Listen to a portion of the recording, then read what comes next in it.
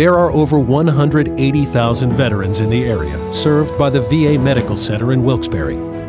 Paul Kanjorski arranged for improvements there to provide better care.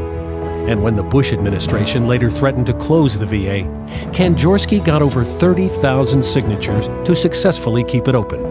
Veterans have stood up for America. Paul Kanjorski stands up for veterans. I'm Paul Kanjorski, and I approve this message for all our veterans.